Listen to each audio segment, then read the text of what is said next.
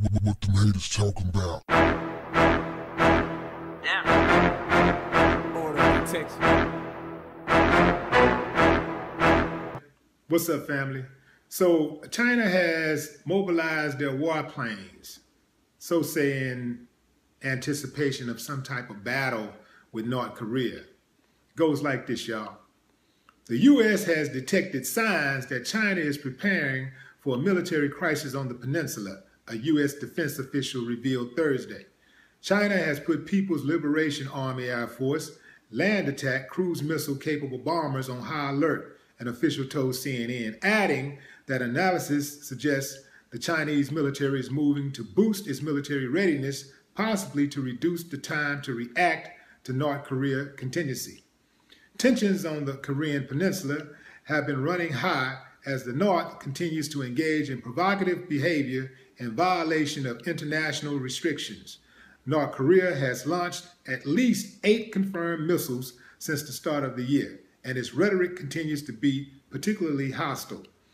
The North threatened a super mighty preemptive strike Thursday, warning that it could wipe out U.S. forces as well as turn U.S. bases and the continental U.S. into a pile of ashes.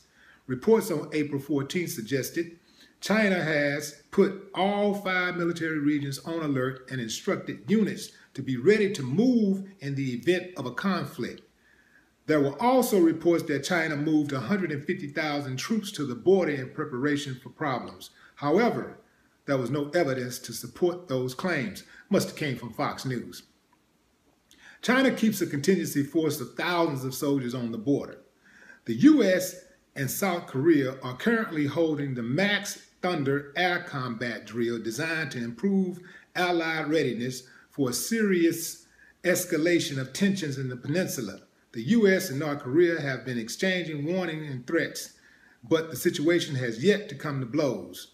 The Trump administration is working with Beijing to help rein in North Korea and China has, according to administration officials, ratcheted up pressure on the North Korean regime, potentially raising tensions between the old treaty allies. In an afternoon press conference, Donald Trump, without referencing China military action specified, said, Some very unusual moves have been made over the past two or three hours by China. So, and I'm going to tell you something. What's crazy is that the people in the U.S., not all people, of course, but many people in the U.S., mainly conservatives, they are like very invested in some type of conflict. It's like they want conflict. They want blood. But these are usually pe people that want blood, people that want conflict. It's normally people who are bullies. See, bullies normally go unchecked. So until they get their ass whooped, till they get their head knocked off, until they see some blood of their own, see their own bleeding, they usually ain't gonna stop being a bully. And they're not gonna stop that rhetoric until they see it's real in the field. So I would advise anybody that want to see America jump in there or China go in there and destroy North Korea, which I don't think China's going to do nothing to North Korea anyway. I think that's just a whole bunch of posturing and bluffing and stuff.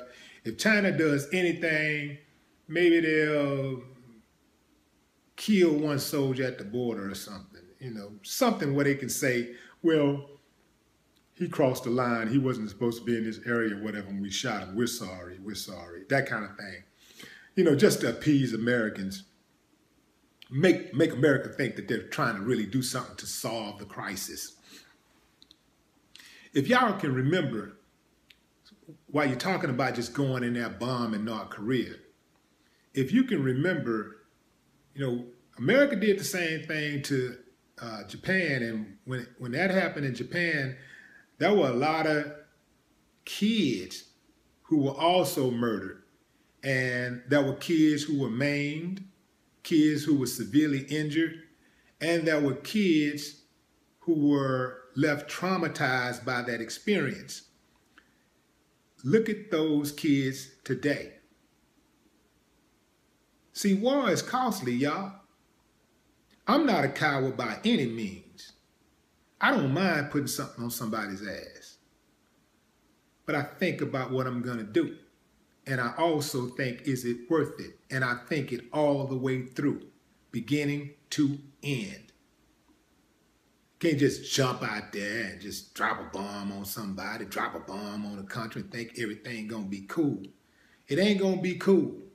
And I don't think, I don't even think America gonna fuck with North Korea. Because I just think that North Korea ties with China is way too close. And I think that China is obligated to ride with North Korea more than they are obligated to ride with America. Even though America is China's number one trader. But keep in mind, 85% of North Korea's trading comes from China. So they're, they're very reliant upon one another. But this is what happens when you get an incompetent reality star playing a game of chicken. Dude don't know what he doing. I promise you he don't know what he doing. And history will side with me. When all of this is over, after this, whenever he get out of here, whether he is impeached or whether he lasts four years, eight years, whatever, history is going to be on my side. This dude is going to go down in history as one of the worst presidents in the history of America and civilization. He is among the worst. I don't think that Kim Jong un wants to end his country's run. I don't know what he's really thinking. I mean, he can't really believe in his heart of hearts that he stands a chance of winning any real battle with the U.S. He can't really believe that. He can only believe that any type of hostile movements that he make, anything that he does that's shown as a physical sign of aggression is only going to rush his demise. So I just don't think that he really believes it. I think the dude is posturing. And here's the thing though, like, keep in mind the US is North Korea's enemy. North Korea do not like the US. And what I want to know from y'all is this. The, the US is telling North Korea you can't build bombs, while in the same breath the US builds whatever bomb it wants to build. You can't test bombs. Well, in the same breath, the U.S. tests whatever bomb it wants to test. Let me ask you guys out there, no matter what side you're on, whether you're riding with Trump or you're against him, how many of you out there would take heed to uh, stipulations from your enemy? How many of you would respect provisions that your enemy give you and tell you you can't do this to protect yourself or you can do this? How many of you would actually listen to your enemy if your enemy say, hey, don't go get that gun and you better not go get no gun?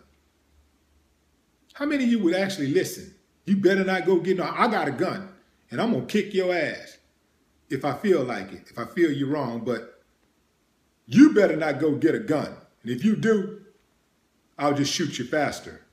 How many of you would actually listen? How many of you would actually listen to your enemy say, Don't you raise your hand at me? Even though in the same breath they're raising their hand at you. How many of you would do that? This this what is this boils down to. This is North Korea's enemy telling them how to protect themselves against them. Come on, man. It, don't really make a whole lot of sense if you really think about it. But now what this all comes down to is that China has to decide whether or not North Korea serving as a buffer to communism and capitalism is worth it to them. Or they got to decide whether or not they want to uh, end their run with China, uh, with, with North Korea. You know, has that run come to an end where they've exhausted all of the resources that they can use from North Korea? They don't need North Korea anymore. North Korea is now a liability. It's cool to get rid of North Korea. They got to decide that because in the grand scheme of things, North Korea to the rest of the world, at least that's what's being reported, is a nuisance. But especially to Big Brother America, North Korea is a nuisance. So China has to decide whether they want to continue to ride with North Korea or whether they're going to ride with the West. I think I know the answer to that, but all of us will get our answer within the next few days, weeks, months, or years. No more talk. What the haters talking about? Order six.